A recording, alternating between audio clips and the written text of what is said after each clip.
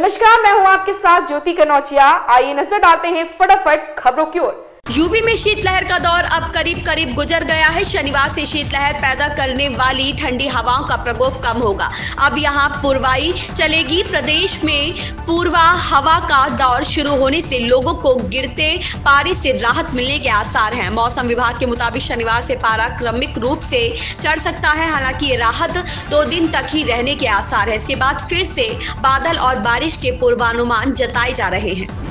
अक्षय कुमार, कैटरीना कैफ, अनिल कपूर और नाना पाटेकर की comedy film welcome superhit साबित हुई थी। इस फ़िल्म की सफलता के बाद वेलकम टू बनाई गई, जिसमें नाना पाटेकर और अनिल कपूर के साथ जॉन अब्राहम थे।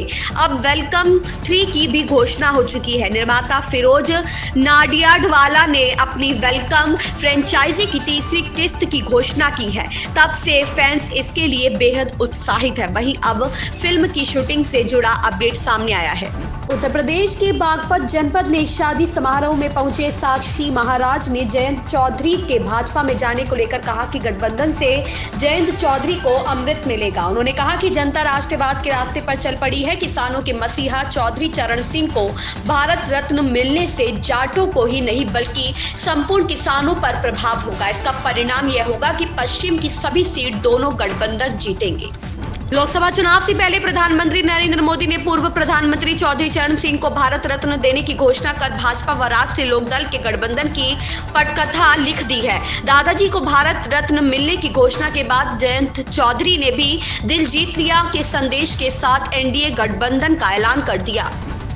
परिवहन राज्य मंत्री दयाशंकर सिंह ने यूपी विधानसभा में कहा कि सार्वजनिक वाहनों से दुर्घटना में मृत्यु या घायल होने पर मिलने वाली मुआवजा राशि को कई गुना बढ़ाया जाएगा। सपा विधायक इंजीनियर सचिन यादव और पिंकी यादव के सवाल के जवाब में दयाशंकर सिंह ने बताया कि सार्वजनिक वाहन से दुर्घटना में मृत्यु होने पर बस यात्री को चालीस हज़ार रूपए और अन्य मृतक को दस हज़ार रूपए मुआवजा राशि दी जाती है। वर्ष उन्नीस सौ छियानवे के बाद से इस राशि को नहीं बढ़ाया गया है।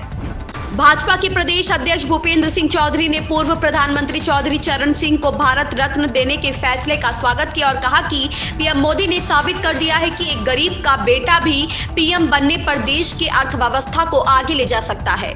लोकसभा चुनाव से पहले देश में नागरिकता अधिनियम लागू हो जाएगा। केंद्रीय गृह मंत्री अमित शाह ने शनिवार को दावा किया कि आगामी लोकसभा चुनाव में भारतीय जनता पार्टी को 370 सीट एवं उसके नेतृत्व वाले राष्ट्रीय जनतांत्रिक गठबंधन को 400 से अधिक सीट मिलेंगी। इसके साथ ही केंद्र में लगातार तीसरी बार प्रधानमंत्री नरेंद्र मोदी के नेतृत्व में सरकार बनेगी।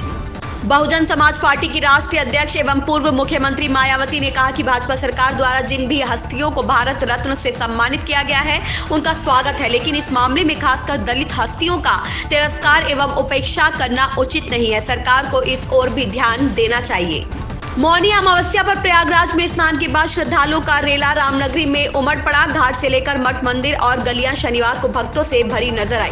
अचानक उमड़ी भीड़ से व्यवस्थाएँ ध्वस्त हो गई। भारी भीड़ को देखते हुए रामनगरी में यातायात प्रतिबंधित कर दिया गया है। राम जन्मभूमि पथ पर भक्तों का रेला लगा हुआ है। श्रद्धालुओं के सामान रखने व जाँच करने की व्यवस्था भी भारी भीड़ के चलते फेल हो गई लोकसभा चुनाव की तैयारी में जुटी भाजपा की नज़र पिछले पाँच साल में पश्चिमी उत्तर प्रदेश में हुए सियासी नुकसान की भरपाई पर है। लोकसभा चुनाव 2019 और उसके बाद विधानसभा चुनाव 2022 में भाजपा को जाट मुस्लिम बहुलता वाली सीटों पर नुकसान उठाना पड़ा था। रालोद के साथ गठबंधन से जाटों के साथ मुस्लिम वोट हासिल करने की जुगत भी लगाई जा रही है।